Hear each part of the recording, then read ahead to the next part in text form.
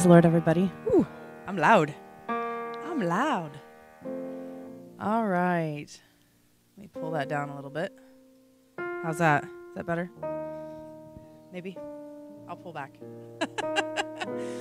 Praise the Lord. It's so good to be here again tonight. Going to learn about Acts some more. Um, I've been enjoying Brother LJ's Bible studies. How about you? Love them. So, um, we're going to sing about the crimson stream of blood, his beautiful blood that washes us white as snow.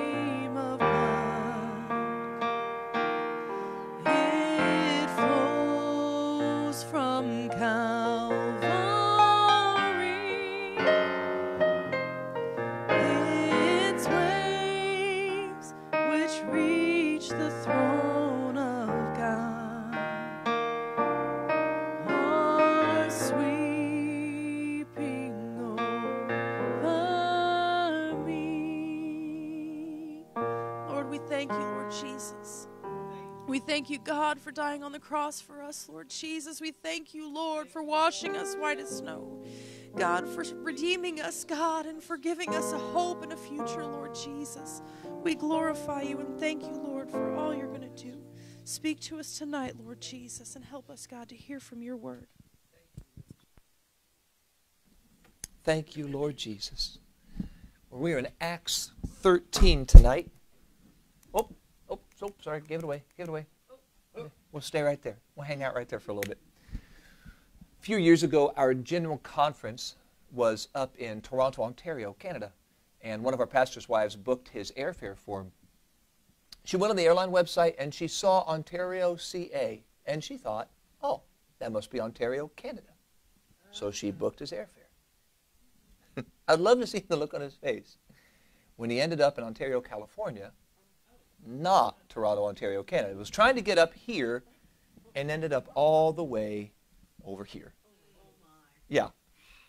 Because obviously there's more than one Ontario in the world. Like we mentioned, there's more than one Mount Vernon, and there is more than one Antioch.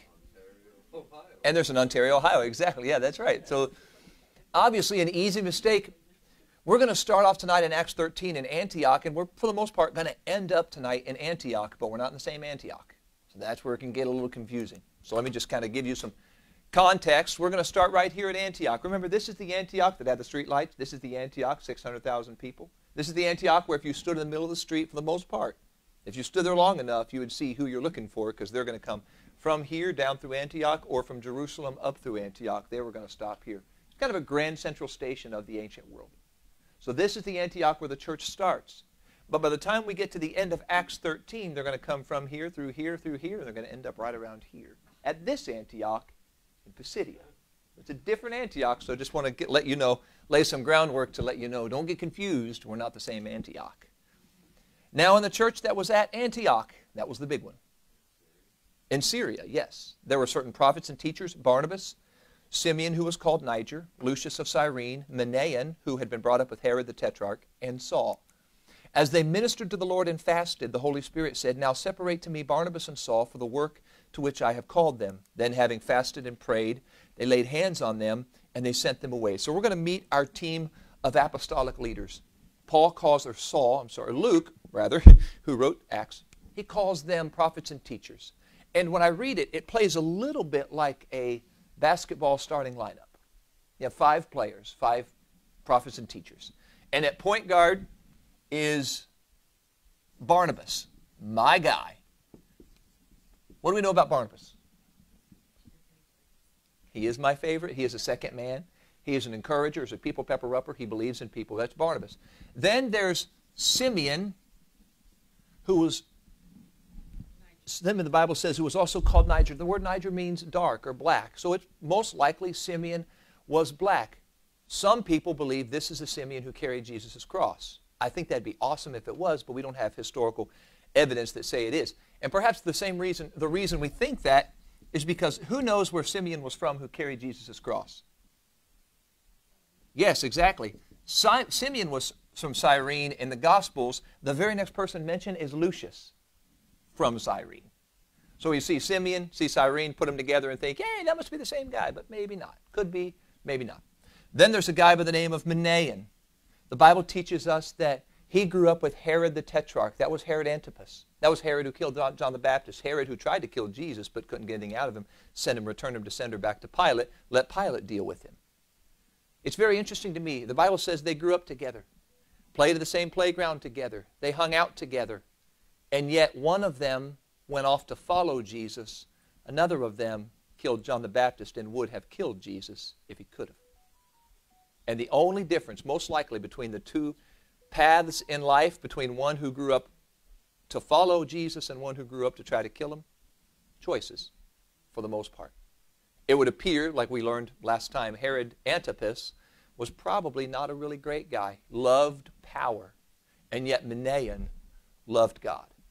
It's interesting how even you could have in your own family, you could have children who learned the same who went to the same Sunday school, went to the same church, went to the same camp, went to the same services, and yet one of them said, I will follow Jesus, and another says, I want nothing to do with him. It's very interesting. A lot of it deals with choices. And then we have at the center Saul. This is the lineup we see here in Acts chapter 13, the five who are called prophets and teachers. And it's interesting to me that this is the five, and we've heard of Barnabas and Saul. The other three, Never heard of them. But they were a part of the people God used, spirit filled, spirit led leaders of this New Testament church in Antioch. And the Bible says that they ministered to the Lord. That's amazing to me. When we come into service, God ministers to us, and yet we have an opportunity to minister to Him. Isn't it neat to know that we can bless God? We can worship Him, and our worship, our devotion, the life we live ministers unto the Lord. It's not a one way street. He blesses us, but we have the opportunity, the holy opportunity, to bless him. And then they prayed over Saul and Barnabas. The Holy Spirit said, Separate Barnabas and Saul.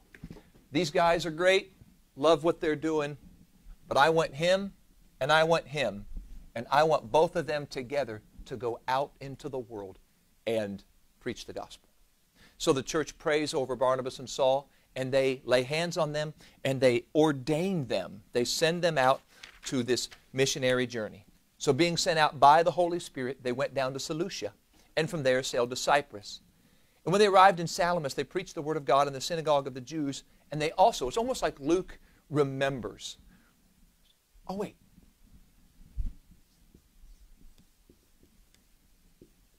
That's right, John Mark was with them. So it's almost like Luke remembers. Oh, they also had John as their assistant. Now, when they had gone through the island, it's like, hey, there you go, John. it's like, oh, there's another one. What is his name? It's such an unusual name. John. Now, when they had gone through the island of Paphos, they found a certain sorcerer, a false prophet, a Jew whose name was Bar Jesus. When you read Bar, what does that mean? Son of. Son of Jesus. He was not. Who was with the proconsul or a governor of sorts, Sergius Paulus, who was an intelligent man.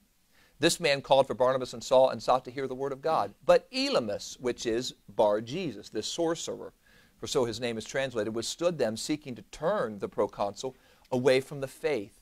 Then Saul, who was also called Paul, filled with the Holy Spirit, looked intently at him and said, Listen to what Saul says. O full of all deceit and all fraud, you son of the devil.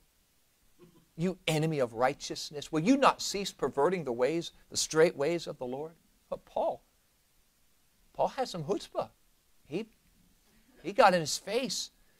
And now indeed the hand of the Lord is upon you, and you shall be blind, not seeing the sun for a time. And immediately a dark mist fell on him, and he went around seeking someone to lead him by the hand. Then the proconsul believed when he saw what was done, being astonished at the teaching of the Lord. So, first stop, Holy Spirit says, separate Barnabas and Saul. I want them to go out and do the work I've called them to do. First stop, they stop here at this island of Cyprus. They start here at Antioch, they board a boat, come across the pond, and they end up at Salamis, this little city here on the island of Cyprus. And Paul had a very predictable, repeatable pattern. The Bible teaches that Paul would first go to the Jews, then the Gentiles.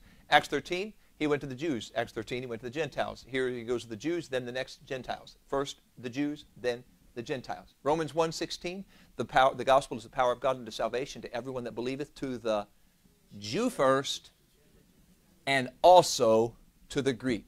So Paul was saying in that passage and by his pattern, he was saying, I'm going to preach to the Jews first. They were the chosen people of God from Genesis.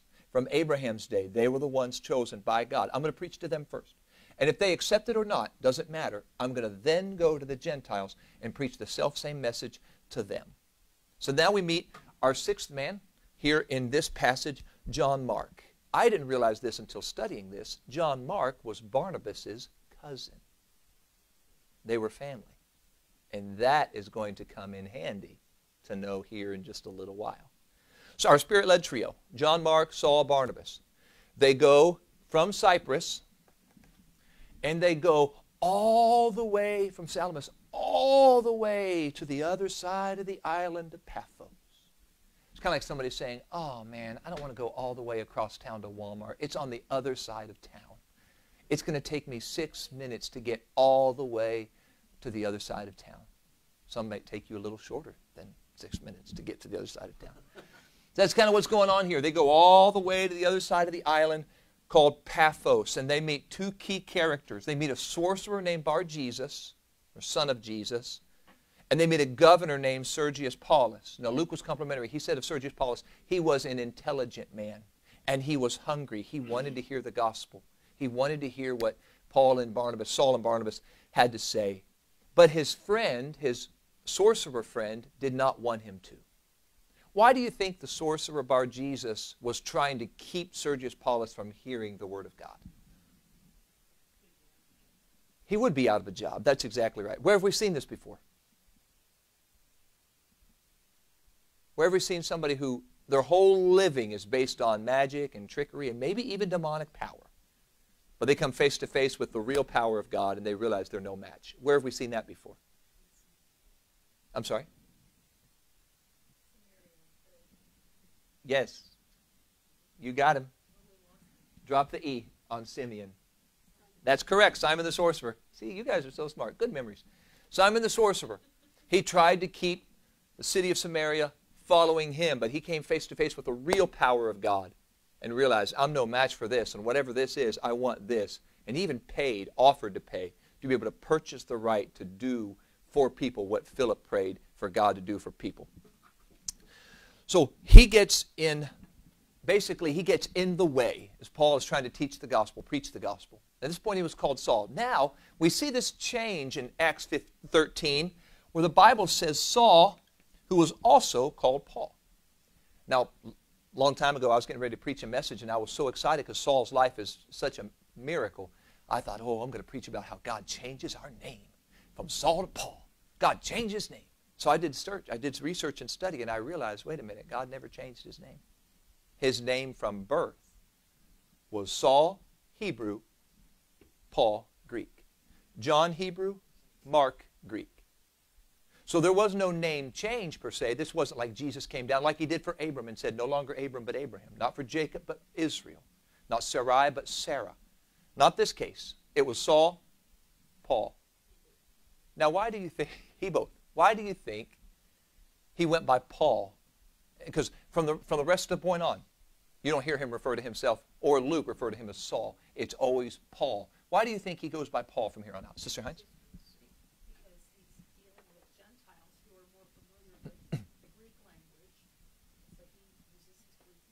Okay, he's got a Gentile audience, and they would identify more with the Greek name. Sister Brooks. No, no, no. I heard. I thought I heard you say something. Yes, exactly. His history. I think Saul, Paul, sorry, might have been distancing himself a little bit. Oh, I know, I know. I have a reputation. Saul Tarsus. Everybody's scared, but I'm telling you, I'm not that anymore. I'm Paul. So that could have been part of the reason that he starts to go by Paul. But he's full of the Holy Spirit and still gets righteously indignant with Bar Jesus, with Elymas. And he tells him, You will be blind for a time. Now, why would Paul feel like that would be such a major issue? To say, That's it, fine, you're blind. Boom, he's blind. Why would Paul say, that, that'll, that'll, that'll serve you right? Liz.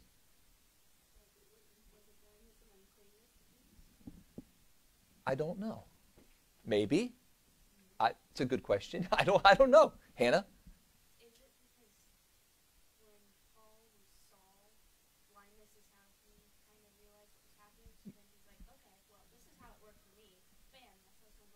Exactly. I think that's part. That could be part, and it might be. Maybe blindness was uncleanness, but yes, I think Hannah's right on. Saul says, "I'll tell you what. I thought I knew it all. I thought I could do it all. I thought I was awesome.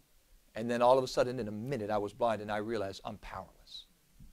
And so, Elymas, bar Jesus, you think you're awesome, you think you're amazing, you think you can do all these tricks, and Matt, watch, watch this.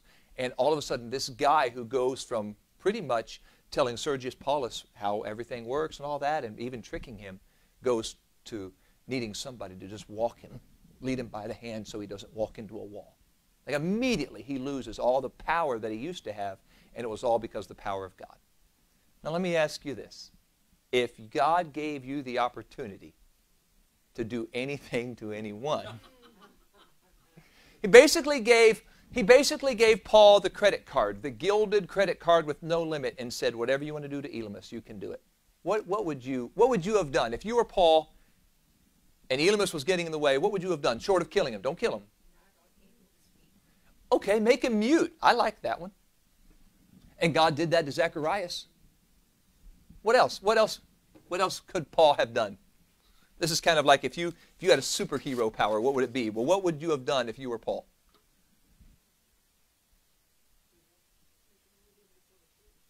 Okay, take away his ability to lie and deceive. You have to tell the truth. I'm really nothing. I got no power. Everything I got is from the devil. Sorry. Got nothing for you. What anybody else? What, what would you do? What, what would you do, Brother Potter, if you could? What would you have done? Not, I don't even know what that means, but it's funny. But it's funny. Anybody else? One more. Just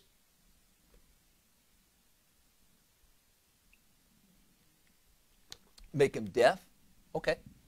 So we're taking away his ability to see, hear, or speak. All right. So that's what Paul does. And immediately, the Bible says a dark mist fell on him. He couldn't see, he needed somebody to lead him by the hand. And here's what's amazing to me the proconsul, the governor, this, this intelligent man who was hungry to hear the word of God, he believed when he saw the miracle. He said, Wow, that's amazing. I believe. But he was astonished at the gospel. The miracle was, wow, okay. But the gospel was, oh my. So you're telling me God came from heaven to earth, laid his life down on one of our Roman crosses so my sins could be forgiven?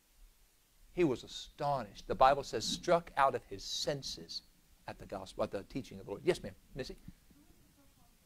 Sergius Paulus. He was some kind of a governor of sorts. Yeah. So here's, here's where I think it, this is valuable. I believe it's God's will for us to have miracles and the gospel, but not miracles before the gospel or miracles over the gospel. In other words, it's God's will for us to preach the gospel, and then He confirms the preached word through miracles. And that's what we see all throughout Scripture. They preach the word, and then the Lord says, and just to prove that I'm in this, watch this. And then people are healed. We'll see that in Acts 14. So it is the plan of God, will of God, for us to have both. But if we can only have one, let's go for the gospel. Let's not chase after miracles. Miracles should follow us. We should not have to chase them. Any questions before we move on? Yes, ma'am. Comment on.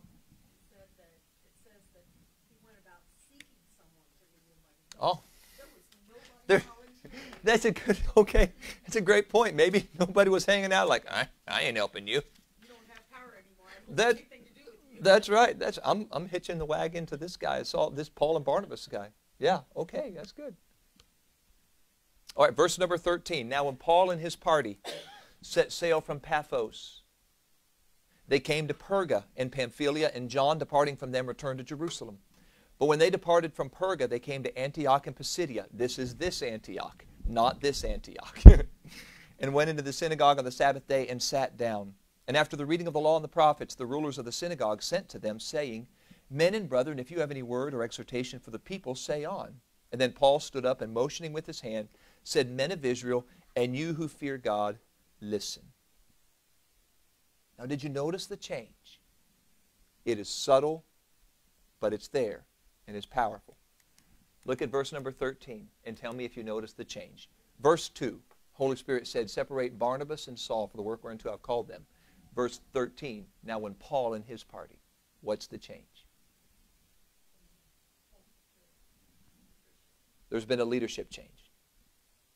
Barnabas was the first one mentioned. Barnabas is the one who went and got Saul before and brought him to the Christians. And yet now we see here in verse 13, and we'll see through the rest of Acts and the rest of the epistles, that Paul is the man in charge. He's the one taking charge and leading. So there's been this, eh, I just could do that all the time. There's this, been this change in leadership, and they go from Paphos, which is here, and they come across this pond to Perga and Pamphylia, and finally they end up here in Antioch in Pisidia.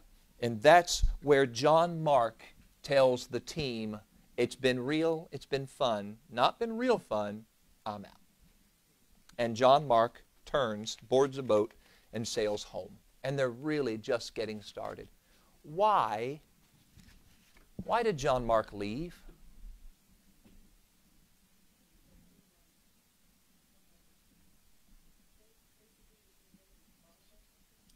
Not yet. There's not. There's a tiff between him and Paul, but that's in Acts 15. No, no tiff yet. At least that we know of. Luke doesn't record it, but not that we know of yet. Why do you think John Mark left?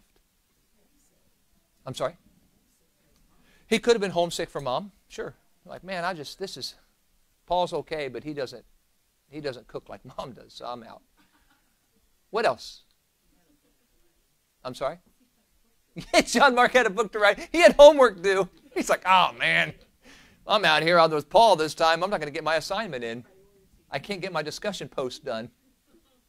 It's due by midnight on Monday. Oh, Liz is feeling Liz, Liz is feeling that. I'm feeling that too. I've got my discussion post to do also. Why else? So homesick.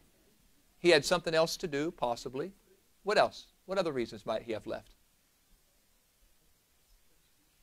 I'm sorry? Well, no, there are theories, but nobody knows. I just want to see what you're thinking. Persecution could have been a reason. It might have been. Uh, it might have gotten too hot for, Bar, for John Mark, and he said, "I, I didn't sign up for this." Hannah. Oh yeah. He's here too. Yes. Yeah, yeah. John Mark just always feels like the third wheel. It's always Saul and Barnabas, and John Mark's carrying his bags. Okay. Anybody else? Any other thoughts? Nobody knows. Could have been, could have felt called somewhere else. Here are some theories over why John Mark left. One, he got, no, he did not get COVID. One, he got homesick and he went home. Another one, he got sick and went home. Another one, he got upset and went home. Maybe some argue that John Mark got upset because his cousin Barnabas is not the one in charge anymore, and now he's taking orders from Paul, not from Barney. And so some argue that he got upset because there's been a change in leadership and he didn't sign up for that.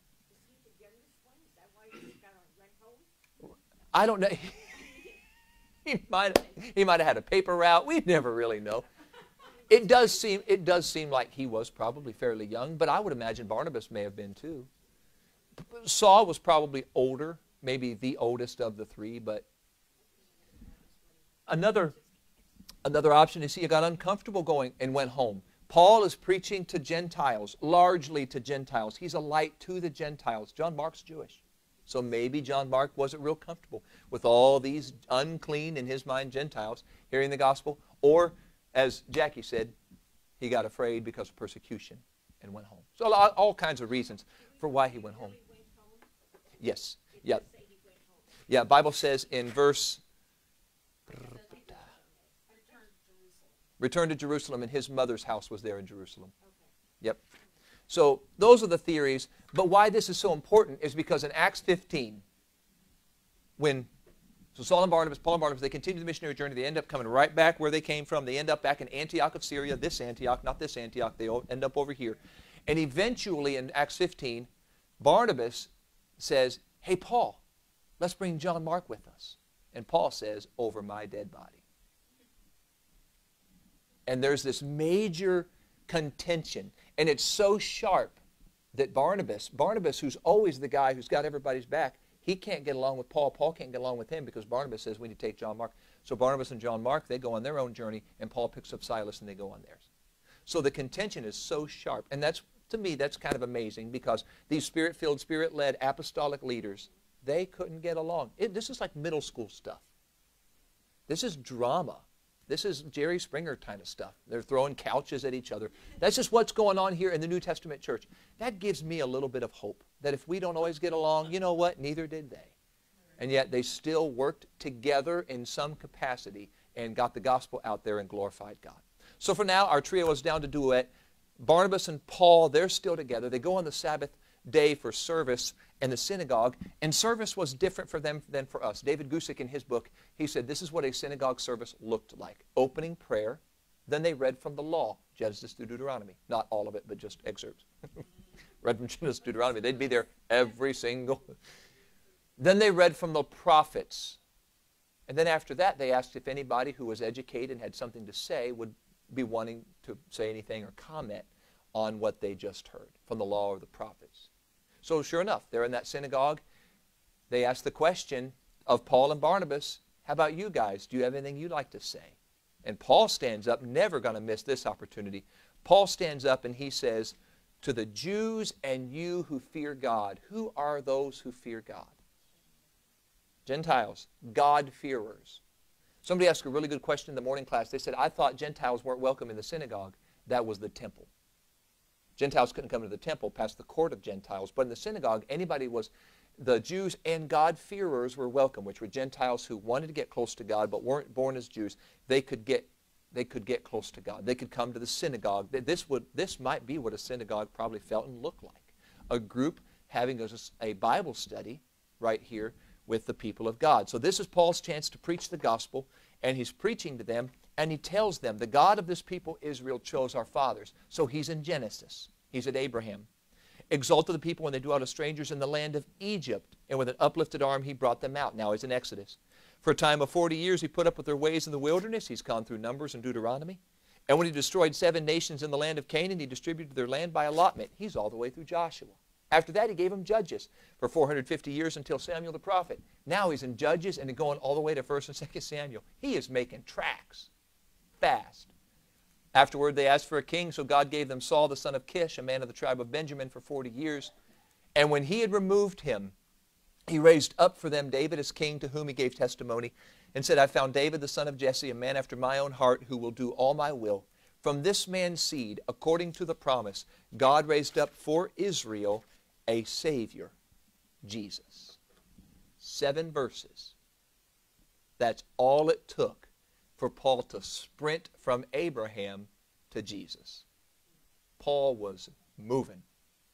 He was getting fast from the law through the prophets, pointing to Jesus. And he got to Jesus. He tells them, Look at the law, it points to Jesus. Look at the prophets, they point to Jesus. Look at the judges, look at Samuel, look at David, look at Solomon. They all point to Jesus. And some of those, especially the Jews, they didn't realize that the law was pointing to Jesus. They knew it was pointing to a Messiah, but they didn't know Jesus was that Messiah. So Saul, who was called Paul, is connecting the dots for him, and when he finished, it was a portrait of Jesus. After John first preached, now he jumps testaments, he's into Matthew. Before his coming, the baptism of repentance to all the people of Israel. And as John was finishing his course, he said, Who do you think I am? I'll tell you who I'm not. I'm not him. I'm not even worthy to loose a sandal. Men and brethren, and sons of the family of Abraham, those among you who, here it is again, fear God, Jews, Gentiles. To you the word of this salvation has been sent. For those who dwell in Jerusalem and their rulers, because they did not know him, or the voices of the prophets which are read every Sabbath. Isn't that amazing? Every Sabbath you hear the prophets read, every single Sabbath, and you miss it every time. It's incredible. You can come to church, you can come to service, and miss it. That's what Paul was teaching. They have fulfilled them in condemning him. Isaiah, the book of Psalms, prophesies that the Messiah will come and you will kill him. And though they found no cause for death in him, they asked Pilate that he should be put to death. Five verses. Once he brings them to Jesus, Five verses is all it takes for Paul to walk them and lead them to the cross. Now, the Jews shuddered at the thought of the cross because it's the most cruel and shameful and embarrassing, humiliating way to die. But even more than that, Deuteronomy 21 calls everybody who hangs on a tree cursed, and Paul said, You hung him on a tree. He used his words very carefully. He was letting them know this was not just a cross, this was a tree. And the law curses anyone hung on a tree. What is Paul saying there? The Messiah is cursed. For whom? For us. God came in human flesh and suffered the curse we should suffer. He took it on himself. That's amazing grace. That's the gospel. That's at the heart of the gospel. Now, when they had fulfilled all written concerning him, they took him down from the, here it is, the tree, and laid him in a tomb. But God raised him from the dead. That's the gospel. Two verses. That's all it takes to walk him from the cross to the empty tomb. And then from verse 31 to 37, Paul quotes from the book of Psalms all about Jesus. He's quoted from the, from the law, he's quoted a bit from the prophets. Now he goes to the wisdom literature, the book of Psalms or the book of Proverbs, and he quotes from them. He was seen for many days by those who came with him from Galilee to Jerusalem, who are his witnesses to the people. And we declare to you glad tidings, that promise which was made to the fathers. God has fulfilled this for us, their children, in that he raised up Jesus, as it is written in the second psalm You are my son, today have I begotten you. And he raised him from the dead, no more to return to corruption. He has spoken, I will give you the sure mercies of David. Therefore, he says in another psalm, You will not allow your Holy One to see corruption. So he's walking them through the book of Psalms, telling them, You hear this stuff. This is about Jesus. It's not about David. David wrote it, but it wasn't, he wasn't the object of it because David, after he saw his generation by the will of God, fell asleep, he was buried, and he saw corruption. We could go right now to David's tomb, and there's not much left, but there are bones. He saw corruption. But he God raised up saw no corruption as a prophecy that was fulfilled in Jesus Christ. Therefore, let it be known to you, brethren, that through this man, Jesus, is preached to you the forgiveness of sins, and by him, okay, here he goes. He's really going to needle the Jews right now. By him, Jesus, Everyone who believes is justified from all things which you could not be justified by the law of Moses. Why does that sting for the Jews?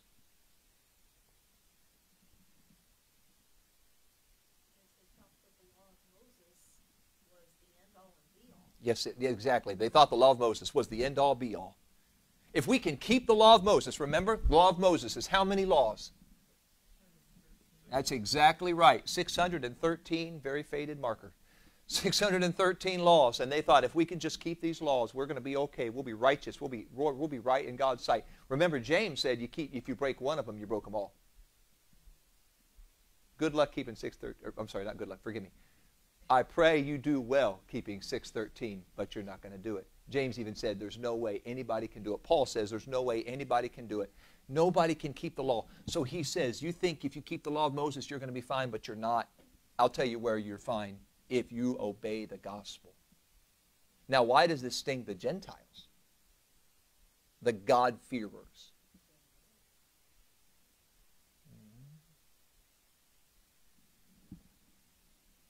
Because all these years the Jews have told them, what you need to do is what we have done. And so they have sold their life to try to keep these 613. And Paul says, that's not, I'll tell you where it's found. We're going to take up an offering for a little table. It's found in the cross. That's where righteousness, that's where justification is found, in the cross of Christ, the gospel. So he tells them, Beware, therefore, lest what has been spoken of the prophets come upon you. Behold, you despisers marvel and perish. Thanks, Paul. For I work a work in your days, a work which you by, will by no means believe, though one were declare it to you. So Paul lets them know it's about the gospel, not about the law. And he preaches them to them in the synagogue. Now, and remember, he's a guest speaker. It's up for them, it's their turn to respond. He's just told them, the law, that won't justify you. The gospel will justify you. Forgiveness of sins is only found in Jesus Christ. But you, your religious elite, your countrymen, you crucified him. You hung him on a tree. But God raised him from the dead. How are they going to respond to that? Here's how. When the Jews went out of the synagogue, no response from the Jews. We have no idea really how they responded. But how did the Gentiles respond? Oh, would you please come back next Sabbath and you I, I want you I want you to preach this again. Would you please come back and preach this again? It's interesting, too. They don't say, oh, that was a good message. What else do you have? They said, I want to hear more about this God who came and became a curse for us so we could be made right. I want to hear more about the gospel. I love that. When we read all the way through the, through the book of Acts so far, we've seen at least three times now where people needed to hear the gospel, and Peter preached it. He started in, I forget if he was Exodus or Genesis, but he walked them through history and came to the cross. And didn't Stephen do the same thing? Walked him through history, came to the cross. The Ethiopian eunuch did the same thing. Walked him from Isaiah, brought him to the cross. And here we see that Paul walks them from Genesis and brings them to the cross. Every one of them preached the gospel because the gospel is the only message with the power to make us right with God. And now, when the congregation had broken up, many of the Jews and devout proselytes followed Paul and Barnabas, who, speaking to them, persuaded or persuaded them, yes, to continue in the grace of God. So there were those devout Jews. There were some of those who said, I want to hear the gospel again. I want to hear what you have to say. When you come back next Sabbath, don't change the channel. Preach the same message you preached to us this Sabbath. I want to hear the gospel. And then they do come back the next Sabbath and things get dicey. On the next Sabbath, almost the whole city came to hear the word of God. That's awesome. That's revival. But when the Jews saw the multitude, they were filled with envy and contradicting and blaspheming, they opposed the things spoken by Saul. Paul, Paul, Paul. So Paul and Barnabas come to the synagogue, and the whole city practically comes out to hear the gospel. And the Jews who are there get upset. Why? They've never been able to do it. Been able to do what? Bring them all in. Yes. Yes, exactly. So think about it. If, if you've got 20 people every Sabbath day, whatever, they come together, you got 20 people. Then you got these two guys who come in from who knows where and they all of a sudden, two, two services is all it takes to get the whole city out to hear them. They got upset. They got envious. They're like, hey, that's not fair. One service? That's a great point. So it's just one service. You're absolutely right. One service is all it takes. It's even worse for the Jews. Oh, man, come on. One service is all it takes. And so the Jews get upset, and the Bible says they contradicted Paul. So while Paul is teaching and preaching the gospel, I can hear them say, well, he says, now you know that David saw corruption, but the Messiah Jesus never saw corruption. Yes, he did. And Jesus became a curse for us. No, he didn't. Like you just, they contradicted Paul. Everything he would try to say, they would say, no, that's not right. Yeah. we went to, went to a nursing home service one time, and I remember, nursing home services are so special. I remember one time, one sweet lady, she just all of a sudden, we're teaching, preaching, whatever it was. I promise it was true, it was straight from the Word of God. And she said, Lies! They're all lies! She got so upset, so animated. Mean, what do you do in a situation like that? That's what they're doing. They're contradicting and opposing Paul and Barnabas because they want the crowd to follow them. But that's not what's going on here. They're hearing the gospel. Some of them may have been hearing the gospel for the very first time. And they heard it, and God dealt with their heart, and they said, Wow, He did that for me. And it changed them. But when Paul and Barnabas grew bold, and he tells them it was necessary that the word of God should be spoken to you first. Okay, we came to you first. You know our pattern. We came to you first. You heard the word of God, but since you reject it and you judge yourself unworthy of everlasting life, we're going to turn to the Gentiles.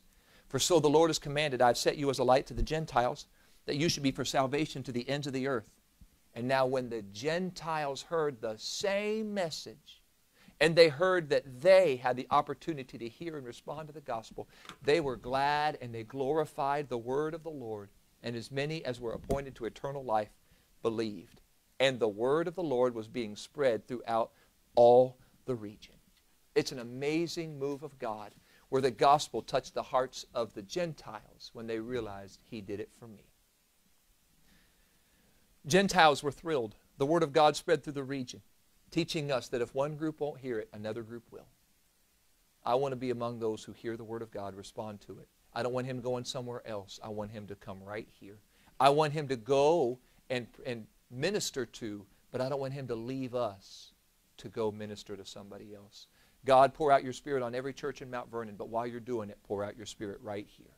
I want you to do what you want to do right here. Do it elsewhere, but don't do it elsewhere without first stop by here. Do what you want to do here. But the Jews stirred up the devout and prominent women.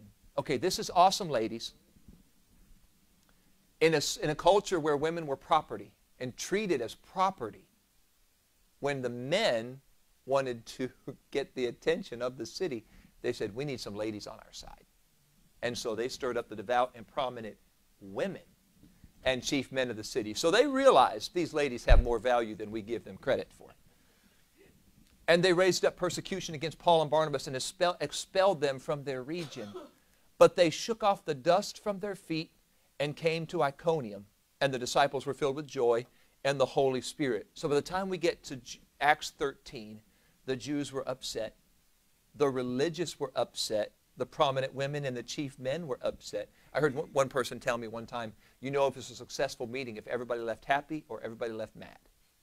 Well, it's a smashing success because everybody, except the Gentiles, is upset. And on the way out of town, Paul and Barnabas symbolically, I don't know how you shake the dust off your feet. I guess you kind of go like that or you wipe your feet or whatever, but they shake the dust off their feet. What does that mean?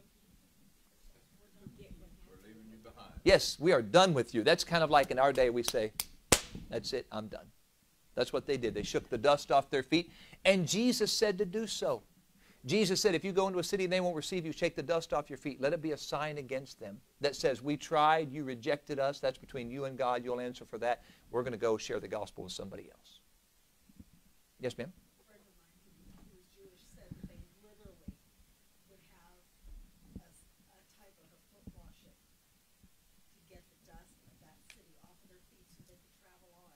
Oh my. Oh my. This is middle school stuff right here. Wow. In case you didn't hear it, Sister Hines, and for those online, Sister Hines said in Jewish custom, some of them would have a foot washing service to get the dust of that particular city off their feet before they went to another city. Now, and I did read in one place that if a Jew went into a Gentile's uh, business or home or something like that, they would have a foot washing to get the dust off of their feet because it was unclean to have Gentile dust on Jewish feet. Boy, racism was just so so prominent back in that day, which is why there's this sharp division between Jews and Gentiles, and yet the cross erases it. Remember, the cross erases the line and says everybody who's hungry can hear and respond to the gospel. So they came there. The Jews said, We don't want it. They said, We shake the dust off our feet. We're going to get out of here. They go to Iconium. And then the scripture says they're expelled out of town, they're rejected, they're persecuted. And how do they respond? They respond filled with joy and the Holy Spirit. You can't stop the church, whatever you try. Try persecution, try contradiction, try demonic power, whatever you try. God is greater. You can't stop the church. And that's how we end with Acts 13. Questions? Yes, ma'am.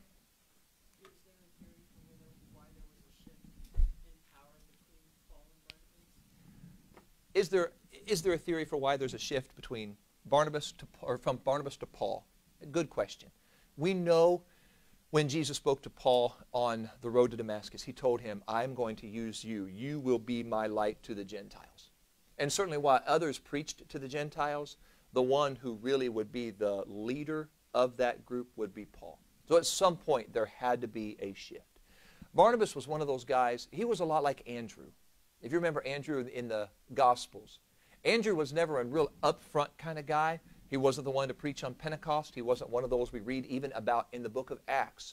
But Andrew's gift was someone else needs to hear this. I'll go get my brother. Somebody has a lunch here. I'll go find it and give it to Jesus. It's kind of Barnabas is like that. Barnabas is not, he may not be a real upfront guy. In fact, we're going to see here soon where Barnabas and Paul go into a city and Paul is the chief speaker. Pretty much everywhere it's always Paul is the one speaking, he's the one out in front. So he is the leader. At some point, that had to happen. Barnabas appears to be okay with it, though, which again, that's kingdom minded. It's not about me, it's about him. So whoever gets the glory, he gets the glory. So it doesn't matter who gets the credit here, he gets the glory. Good question. Anyone else? Any other questions about Acts 13?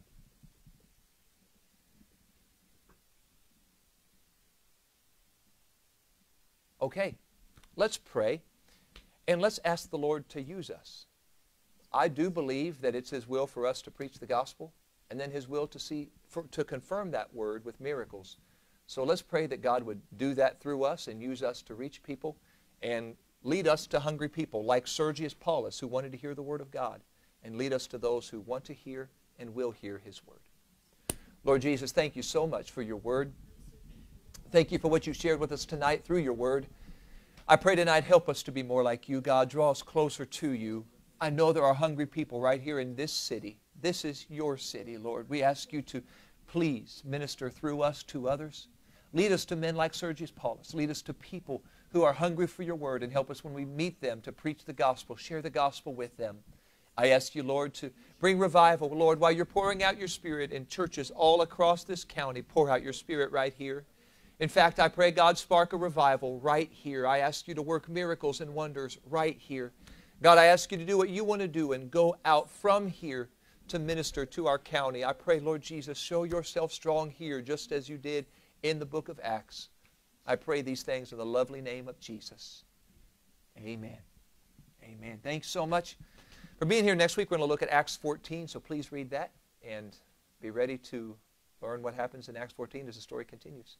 We do have a cornbread country ham and bean dinner Sunday, which there are tickets right here on this chair. You don't need a ticket to come, but please use those to give those to others. That way they can know when and where and all of that. And invite somebody to come and, and fellowship with us. We're going to have great worship, a great service, a move of God, and then fellowship right after. So invite somebody to come with us. I think Bishop has tickets there, yes? Yes. Okay. Okay.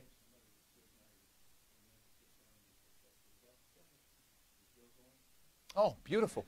Man, that was a quick answer to prayer. And for our next trick.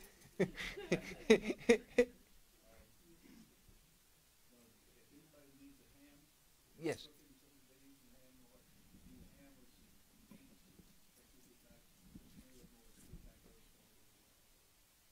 Excellent.